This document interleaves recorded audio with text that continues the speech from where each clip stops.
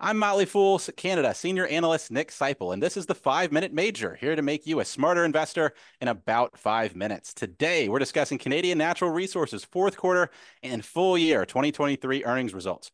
My guest today is Motley Fool Canada Chief Investment Officer Iain Butler. Iain, thank you so much for being here. Great to be here, Nick. Fun to talk about Canada's best, I would say, best energy company. Canada's biggest energy company.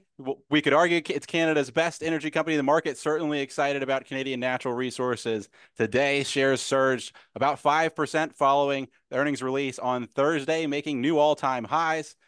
Uh, the market liked, there's a lot to like about uh, CNQ's results, achieved multiple production records for the year, 7% production per share growth, did that while also increasing reserves for the company, net earnings of approximately $8.2 billion, adjusted funds flow of $15.3 billion. That led to over $7 billion in return to shareholders.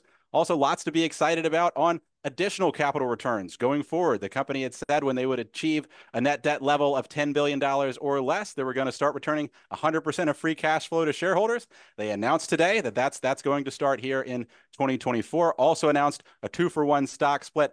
Lots to like, both on the, the operating results and the, the capital allocation. Iain, what stood out to you about Canadian Natural Resources results?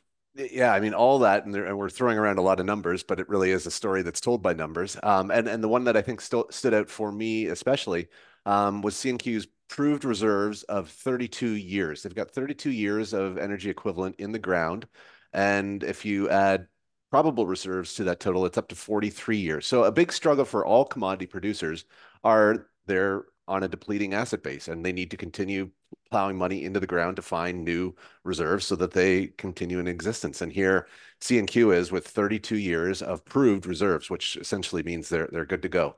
Um, so even if they don't find another barrel of oil equivalent uh, for the rest of their for the rest of my investing timeline, anyway, um, I, I think this company is going to keep pumping out the cash, pumping out big numbers like uh, you just went over. Yeah, great assets, great capital allocation, really a lot to like. Iain, when you look at shares today at all time highs, as I mentioned before, how do you think about the valuation for Canadian natural resources stock? Are there more returns ahead for shareholders? Uh, I think absolutely. So, for one, uh, I don't, energy prices aren't uh, they're kind of normalized. I, I, don't think they're too high. They're not too low. They're they're just right. So I think they're they're producing these numbers in a in a pretty normal environment for energy prices, which is where we need to start. Um, but then I think when we you mentioned that 100% of free cash flow is going to be going back to shareholders, can run through some numbers here, and um, I, mean they they generated about 3.8 billion in free cash flow in the fourth quarter. Um, let's round that down to three billion per quarter going forward, just to be conservative. Their existing dividend costs about a billion dollars per quarter.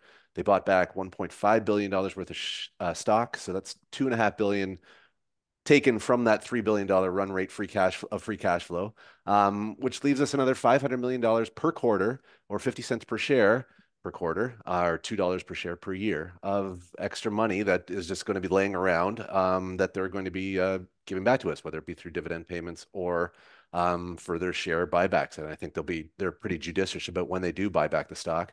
Um, so we're, we're, we're pleased either way, I think we win either way with that formula. And and again, they they're they're going to keep uh, producing uh, at at at at the current rate for a long, long time and generating a lot of cash uh, over that time period. So I, I think there's absolutely a case to be made for just buying this thing and leaving it in a corner of your portfolio and letting it uh, kick out dividends and and and then if we get if we get a appreciating energy price environment, uh, it's just going to be that much more valuable.